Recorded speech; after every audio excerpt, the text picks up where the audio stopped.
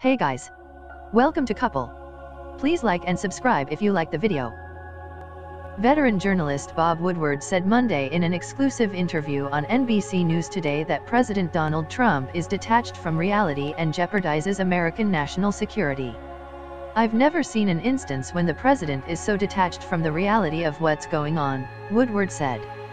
Trump responded within an hour, calling the author a liar and a political operative for Democrats. In his first live TV interview for the book's release, the Washington Post editor and author of Fear, Trump in the White House recounted an incident in which the president complained about U.S. troops in the Korean Peninsula.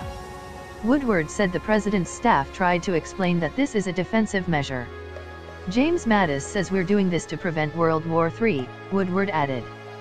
The idea that the Secretary of Defense has to tell a president that all of these actions are designed to prevent the ultimate catastrophe.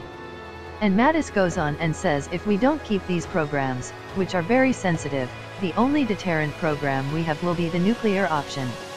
Woodward depicts widespread White House dysfunction in fear, raising explosive allegations of a paranoid president whose own staff believes is unhinged and erratic.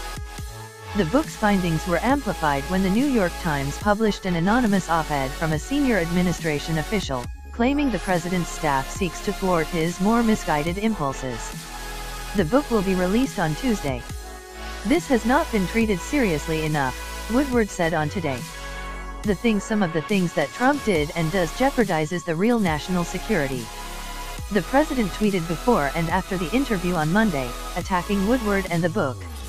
I'll write the real book. Trump wrote before the interview. Bob Woodward is a liar who is like a Dem operative prior to the midterms. He was caught cold, even by NBC, he wrote in a tweet after the interview.